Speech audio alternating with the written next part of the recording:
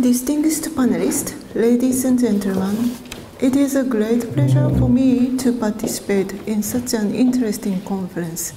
I would like to express my most sincere gratitude to the organizers, I mean two institutions that organize, organize this conference, and also to Professors Andree and Iris Kirchner and their staffs. As I was asked to talk about Jap- Japanese practice with regard to the offshore activities, I, pre- I prepared for my paper with regard to the current development of Japan's offshore activities and our problems. So therefore, my paper is rather focused on the current situations of Japan rather than the security issue. In fact, Japan ratified UNCLOS in 1996. As it is a state surrounded by oceans, it, it's easy, I mean, Japan's EEZ and the continental shelf is very large. However, the exploration and exploitation of the maritime resources has not been undertaken sufficiently. In 2007, the basic law on the ocean policy was legislated, and in accordance with it, the headquarters on ocean policy was established. These phenomena reflect the arguments in the Japanese society that we should re examine the ocean policy in the light of a state surrounded by oceans and should formulate the policy of the government in order to respond to the new circumstances of the sea areas. I mean, including new potential resources or new needs of the society. Since the enactment of the basic law on the ocean policy, several people have argued the need for a new legislation for the law relating to the exclusive economic zone of Japan. However, the attempts for this new legislation has not been so successful yet. In this paper first, I will introduce the recent developments of the offshore activities in Japan, and then I will argue the issues relating to the off offshore activities in the Japanese legal system. As basic features of Japan's EEZ and continental shelf, I should suggest three points. First, Japan EEZ is the sixth largest in the world, surprisingly, because our land territory is very small, but EEZ and continental shelf is very large. Second, there are many there are many deep seabed areas in Japan's EEZ, and even in the coastal areas, the depth is not as shallow as European waters like North Sea. Third, as the land territory of Japan ex extends from the north to the south, we have a variety of marine life and various unknown elements of marine ecosystem. It is necessary to it is necessary to admit that the offshore activities in Japan have not been so successful as I have already said. However, there have been several recent activities, really brand new activities, undertaken around Japan. So I would like to show you some examples. Since the accident of the nuclear power plant in Fukushima, there have been arguments that we should use more renewable energy. As offshore wind power systems are successful in Europe, Japanese government and academics have tried to develop offshore wind power systems in Japan as well. They have completed the research on the wind conditions around Japan, in particular the area, coastal areas and offshore areas and have specified the areas suitable for the construction of offshore wind power installations. This is one of the offshore installations. this is a photograph of the offshore wind power plant in Choshi, Chiba area. We have constructed a similar plant in Fukushima in Kyushu in the south of Japan. The next slide is a picture of the offshore energy power plant in Fukushima. This is really offshore area. This, this plant is constructed offshore area in Fukushima. And the power plant, the specific feature or special feature of this power plant is this is a floating system. As I have already explained, one of the features of the sea, areas surrounding Japan is its significant depth. Consequently, it is very difficult to construct offshore wind turbines on the seabed, I mean attached to the seabed, in most of the Japanese coastal areas. Therefore, we are required to consider the new methods to realize the offshore wind power plant. The wind turbine offshore in Fukushima is floating and anchored. This project in Fukushima is at the first stage of the project, and they are moving forward to the next stage. The floating and anchored system is more suitable to the deep sea areas in Japan, I should say. However, at the same time, the new system is required to respond to the rough weather, particularly in the seasons of typhoons. Therefore, it is necessary to exercise more experiments and we need some experiences. As the other problem, I should point out the high, I should point out is the high cost of the offshore offshore wind power plant in Japan at the moment. As there have been so many wind turbines, uh, there, as there have, not, there have not been so many wind turbines in Japan, we have had the problem of their high cost. Now the government has started a plan to specify the areas for the wind power plant in the port area in order to increase the number of the wind turbines. But we are at the first stage, so the project has just started. Um, so, in this is the next one is very brand new mineral resources in the seabed or subsoil of Japan's area. This, it is called methane hydrate layers. In 2012, the first experimental extract from the methane hydrate layers in the subsoil was undertaken successfully in near to Nagoya. So you see, you see the flare, and this is the picture of this point. So this, this is a sign we have successfully extracted the methane gas from the methane hydrate layer. But this has been a sort of experiment. And we need some more experience and need more, eh, more technologies to really utilize for commercial purposes. And next new resources found in Japanese EEZ is submarine hydrothermal polymetallic ore. This is a photograph of, the, of these new, new maritime resources off the coast of Okinawa. And this, this layer is found in the very deep seabed. And in fact, we need to develop the technologies for raising and smelting the ore for the purposes of commercialization of the exploitation of these resources. So the academics, I mean mainly academics are doing lots of research how to utilize these mineral resources laying in Japanese EEZ. So again, this is experimental stage. And then the last one.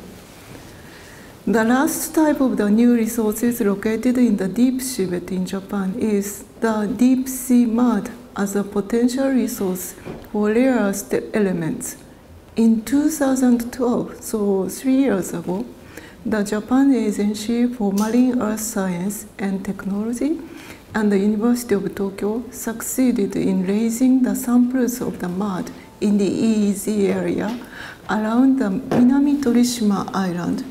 So you see here there is a small island called Minami Torishima Island.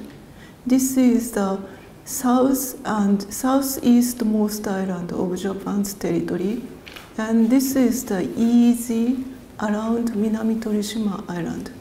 And these, these points with orange or yellow ones, they have found lots of resources of that sort of mud. So again, it is it, this, the importance of these resources is as Japan totally depends on the imported rare earth resources at the moment, this result is very important for the purposes of the economic security of Japan. But at the same time, again, we need some sort of experiments and experience to extract the real rare earth elements from this mud. So, as you have seen from, the, from my slides, probably I should say that generally speaking, the following points as the present situation of the offshore act activities in Japan. Firstly, there are some potential but promising resources in the offshore of Japan.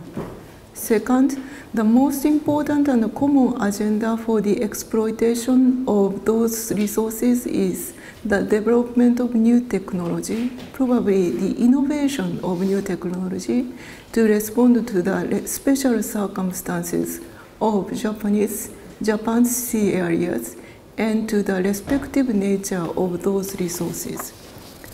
Third, the cost for the exploitation and exploration is key to the commercialization of these resources.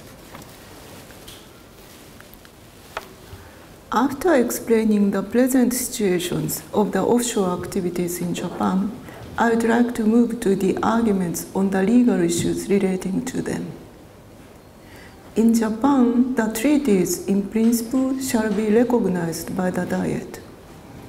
For the purposes of the recognition from the Diet, there are two important requirements.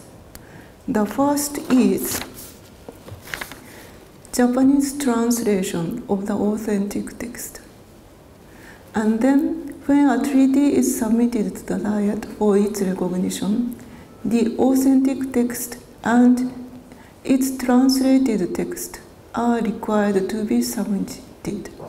So we need some time for the translation because we have to be co coherent with the former translation of the treaties and also coherence is, is required in relation to the existing Japanese legal system.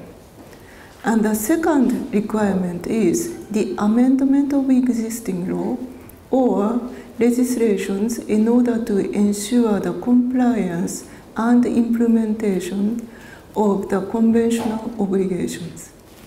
So, in order to ratify UNCLOS, we had seven types of legislative measures. So, you see law on territorial sea, law on the exclusive economic zone and the continental shelf, Japan Coast Guard Act, amended, amended law on the exercise of the sovereign rights concerning fisheries and other activities in the exclusive economic zone, law on the conservation and management of living marine resources, law on the prevention of marine pollution and disasters at sea, law concerning the regulation of nuclear materials, blah, blah, blah. So we needed seven different kinds of legislative measures to ratify the, the UNCLOS. So, at least at the time of the ratification of the UNCLOS, the Japanese government took the view it was possible to comply with the obligations under UNCLOS. So it was sufficient legislation. So, it, so the public attitude of the Japanese government was it took the sufficient legislative measure to comply with all the obligations under UNCLOS. But then, why other people took the view, take, have taken the view that we need new legislation for the EEZ? The reason for this argument is the contents of this new law, because you see there is an act law on the exclusive economic zone and the continental shelf. So this law is expected to uh, play an important role for the Japanese exercise of jurisdiction and sovereign rights towards EEZ and continental shelf. But the, the reality was, at least for, for us Japan, it was necessary to consider how to, how to realize the, these elements, basis for the exercise of sovereign rights and jurisdiction at the, as a coastal state, clarification of legal rules in order to encourage and encourage the commercialization of offshore activities, balance between the development of the offshore activities and the pre preservation of marine environment.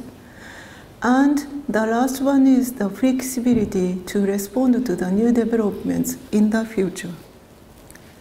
And in fact, the problem of our legislation is we have, it is true that we have the legislation, but this, this law, law on the exclusive law, zone and continental shelf, this, this is in fact a very simple act because it contains basically three points. Firstly, what is the breadth width of the Japan's EEZ and to what extent Japan's continental shelf extend. These two elements and plus Japanese legal rules are applied to these areas. So there is no, no concrete provisions with regard to what sort of legal rules are applied to Japan's EEZ and continental shelf. So this was the real problem of the Japanese government and also those who are working in the EEZ or some on, on the continental shelf. So probably we should notice that it is necessary for us to clarify what sort of legal rules should be applied, in particular in the light of the new development of the mineral resources or other activities. So for this purpose, I should go to the clarification of the competencies of the governmental authority. Because whenever some private company has some project, it is necessary for that company to apply for some permission from the government. And to, as far as territorial is concerned, the local government is competent to do that. So the private companies uh, simply go to the local government to apply for that. But in the case of the EEZ, there is no rule for that purpose. So there is no, at the moment, there is no demarcation of the competence between the local government on the one hand and the central government on the other.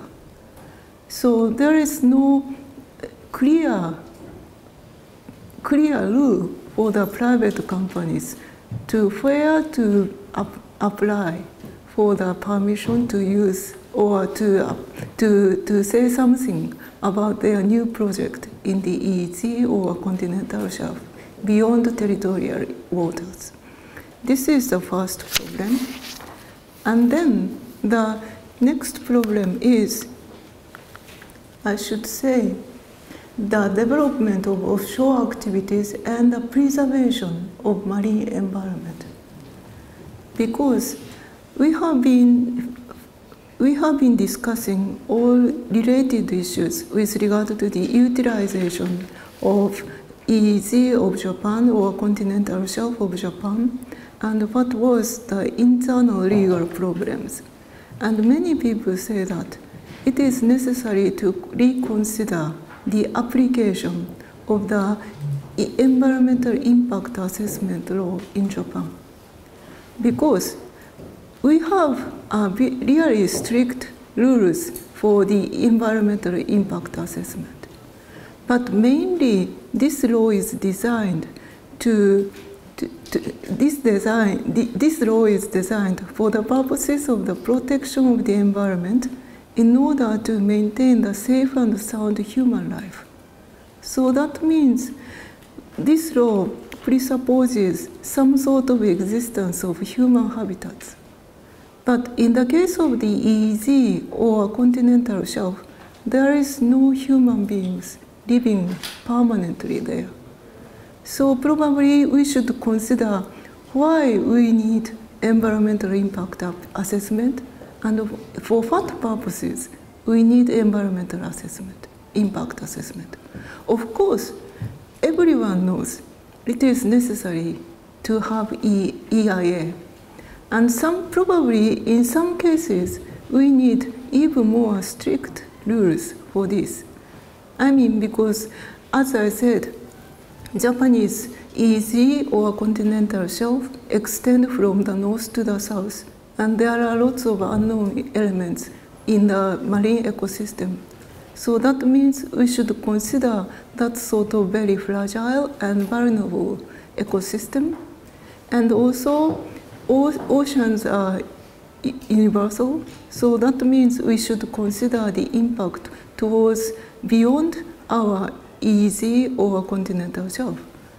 But at the same time, for that purpose, what sort of marine environment should be taken into account? What is the standard for EIA? So these are completely different considerations from the EIA undertaken on the land territory. So that means probably we need new rules for EIA in Japan. And in that process, probably we should consider the international standards and rules for EIA as well. So, taking into these considerations, I should suggest that it is very important to consider the way to ensure effective and proper methods for EIA for the activities undertaken in the EEZ and the continental shelf. But what is what the question is what should be the contents of these legal rules?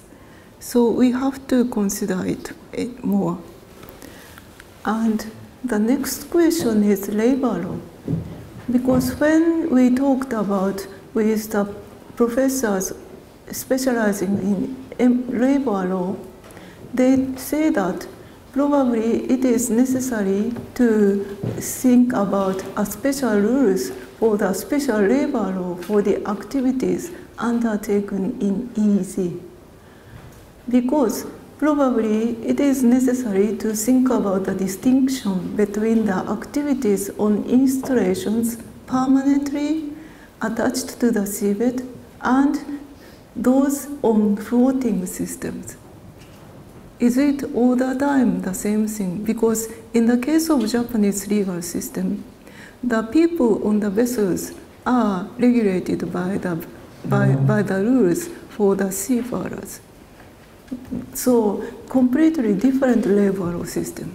So to what extent that sort of clear distinction between the laborers or labor work on the land and laborers work on the vessels can be applied to the works on the floating systems or other many other important issues. So we should consider this point as well. And the last point is as my colleagues discussed in, in, in, in this, this morning with regard from the viewpoint of international law, but we have the same problem with regard to the internal legal system, that is, legal status of floating systems. Because in the case of the floating wind, offshore wind power system in Fukushima, I introduced in my slide, we had a special treatment because the Ministry of Land and, Land, Land and, Trans, Land and Transport decided to, deal, to, to, decided to regard it as a vessel. So basically, the rules for the vessels is are, are applied to this system. But we are talking to what extent or until when we can say that it is necessary and it is possible to deal with each project respectively. Because probably we should say that the treatment of the floating system in Fukushima is respectively and especially treated as a vessel. And then, is it not necessary to generalize this treatment? Is it, is it really possible to generalize this treatment to, to the floating systems in the future? Or do we need some sort of general rules for the a vessel or some other things in the Japanese legal system? This is a, probably a, a little bit similar problem with international law, but at the same time, this is a particular problem of the strict legal system of Japan. And other things are labor law, safety regulations, taxation. All these issues should be settled in order to legislate a new law in Japan. So, as a concluding remarks, in this paper, new offshore activities and newly emerging legal issues have been introduced. As our offshore activities are at the experimental stage, the legal problems that have emerged are too primitive, I think. Therefore, we are pursuing the research on the legal systems of foreign states and are making efforts to collect the opinions from the people who are engaging in offshore activities in Japan. I hope that our efforts will lead to the enactment of a new law in the future and that law will promote the commercial offshore activities in Japan. Thank you for your patience.